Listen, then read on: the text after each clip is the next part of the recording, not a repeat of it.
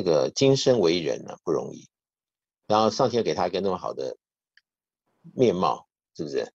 那么大的一个知名度，是吧？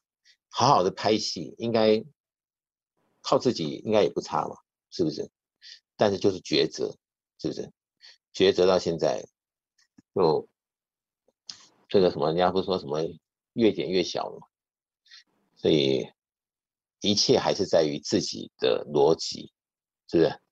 不管你怎么样的理由，最后结果还是自己要去吃吃下去，是不是？所以每一步啊，步步为营，是吧？看到别人的例子，作为自己的这个警惕也好，是不是？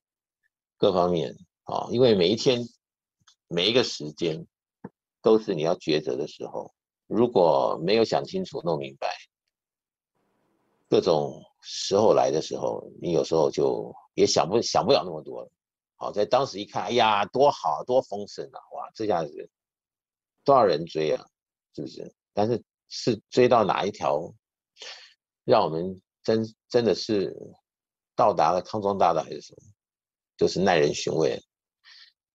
我们在讲的是这个人的感情路，但是抉择里面不是只有感情的问题，是不是？人生的各项主题。在红尘境来跟你叮咚考试敲门的时候，平时就要想清楚，所以要考试的时候才能够从容作答。没想清楚，我跟你讲，太多的陷阱。哦，那么我们经常在讲这些，又是有时想无时，对吧？但是，是不是随时都把自己准备好？这就是自己要给自己答案。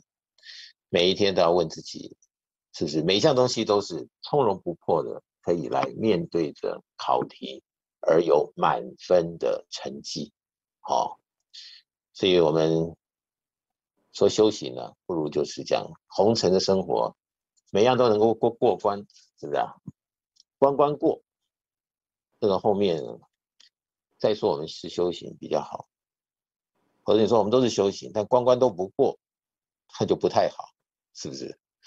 因为关关都不过，又说我们自己在修行，就会造成更多人不敢修行，所以就变成了在打着负面的成绩单给世界，那自己的啊点点点点就不好，